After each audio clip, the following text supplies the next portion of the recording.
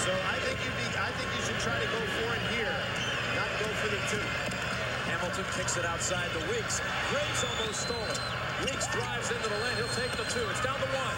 Ten seconds to go. Get the ball in the hand of Graves.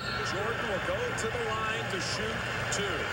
Will we have a 12 seed beat a five for the 12th straight year?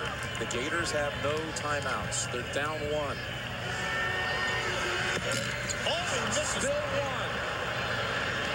With a chance to win it. Will Cinderella arrive?